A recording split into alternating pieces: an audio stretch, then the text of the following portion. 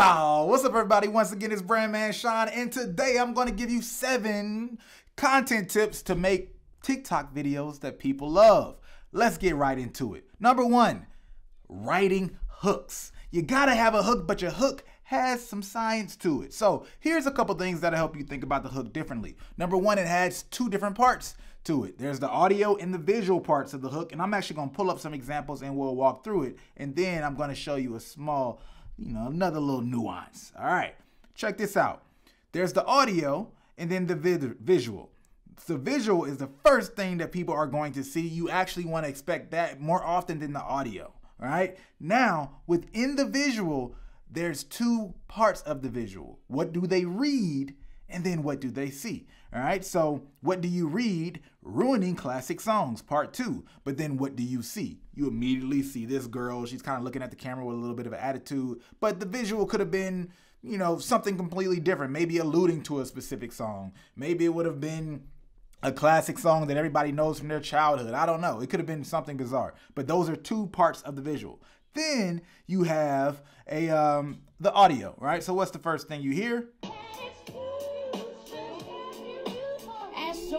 Okay, so the first thing you hear is the actual instrumental of a song. Now, here's another one, right? What do you see? The first thing that you read is how it would sound if I was on Happy by Dixie D'Amelio, and then you also see him visually at a mic setup. Cool. Now, I could go a lot deeper into hooks in a whole nother video, but for now, just remember those things. That is split into two different parts. You have the audio and you have the visual, and the visual has two parts into it. What you read and what you see. Now, Number two on this list is writing a script. When you are creating content, it is in your best interest to write a script first. right? so don't just freestyle your entire video. Yes, you technically could, but it's best to actually break things down so you can look at the science of the hook and then what visual will be related to your hook. And then in part two of your video, what's gonna be on part two of your video, and then how are you gonna conclude your video with a payoff. Write all that out, just like a movie. It's shorter, obviously, a lot shorter, but write all that stuff out. Number three, copy artists that are doing well on TikTok already this is how you're to find the formula that works for you. Right? First, you want to start to see success on the platform, so you copy the formulas that are successful on the platform. Then you start to understand what's helping that formula work or not. Right? Once you get used to analyzing that formula, breaking that formula down, then you can start to interchange different parts of that formula to reflect your own unique creativity. All right. Once you start to do that, you'll slowly start to create your own style. All right, it's a process to it. A lot of people just want to hop on and be great at it, and they don't want to go through the process. If you come right on to TikTok with the perfect formula, especially for you, then congratulations, you, you amazing. Tip number four: own an emotion. And what I mean by that is there was an artist who was in our private group, Brandman Network, and she actually had a um, she had a video take off based on one of the strategies we had going, and she actually was not trying to like create a whole brand with that post, but that post actually tapped into the very specific emotion that resonated with a lot of people. And it was a little bit, I wouldn't say depressing, but it was definitely a little bit more introspective and down. And it was like, yo, do more of that. Like you have those lyrics that really are personable and make people feel like they see what you thinking, what you personally think and go through, and they can relate to that. Do more of that.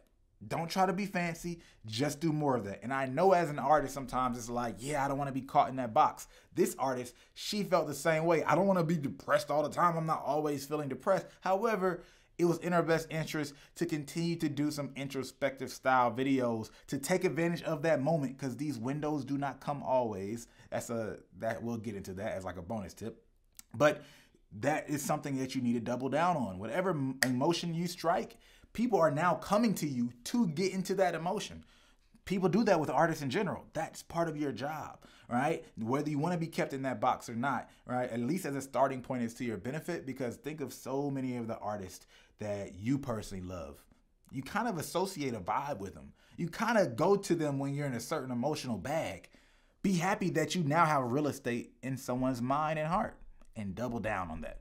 All right don't get caught trying to you know escape a box before you get a chance to maximize that box all right Number five, use a headline as training wheels. Now, actually, I'm going to go back to the post that I was showing for the hook. When I say headline, it's stuff like this. How it would sound if I was on uh, Happy by Dixie D'Amelio. Whenever you see those little bubbles right at the top or some text at the top, this is what I'm referring to when I say headline.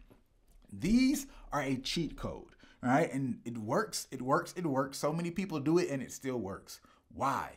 One, because oftentimes the first thing that happens is people read that headline before they really get into the post. And that headline literally will frame how they begin to consume the rest of the video. And now you don't have to visually set up a hook, right? And be be really good at filming and and doing cuts. You can just literally write out the hook. Writing out that hook and creating some type of expectation is so much easier than mapping it out all visually, right? It's, it's a completely different talent. So how it would sound if I was on Happy by Dixie D'Amelio, well, you know it's about to come, come, right? The hook has already got you, and now you would be waiting to see how he sounds on that song. Cheat code, that simple. Yes, you can be successful without headlines, but these are the training wheels until you really get things going and you really understand how the formula works. All right. Now, number six, stop trying to be funny. You don't have to be funny to be successful on TikTok. I know so many people think that it's a skits based platform, a dance based platform. Yes, it was like that at the beginning. That was one of the things that were really popular and helped it take off. But that is not all of the platform. You can be successful on the platform without being funny. And if you aren't funny, it's in your best interest to just yeah, leave that alone. All right? Which leads me to number seven be relatable. That simple.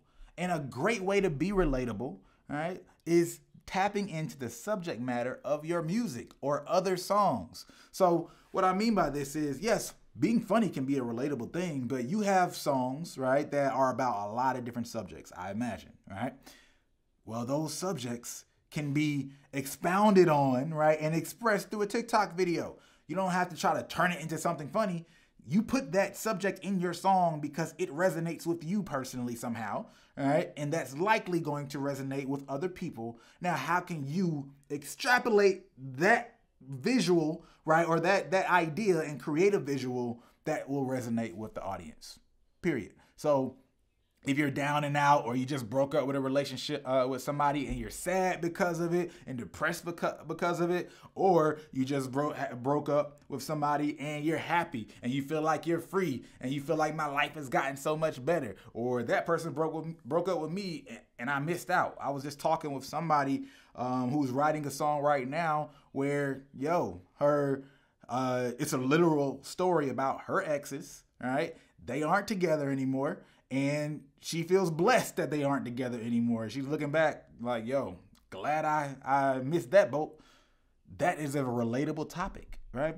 Doesn't have to be a funny topic. Now that can be made funny, but you don't have to make it funny. So, like I said, number six, please stop being funny or trying to be funny. You don't have to do that always. But number seven, do be relatable. Connect. All right. That's it for this video. I will add one bonus because I alluded to it earlier when things are working, lean in.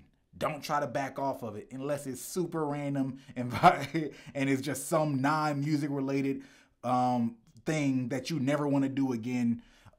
Cool, but besides that, in most cases, you can benefit from doubling down. So that is it for this video. Hopefully you would like to see some more TikTok tips. So I'm gonna actually create a playlist. I'm gonna drop multiple videos. I haven't decided on what all of them are yet. So if you have any thoughts or topics on TikTok that you would like, go ahead and put it in the comment section below. But one that I do have are some general tips to help you understand the algorithm. And let's see, what's one more idea I know I'm gonna drop? I'm gonna go a little deeper into hashtags as well. So that's it for this video. Once again, seven tips on how to create content on TikTok. Hopefully that was helpful. Bye-bye.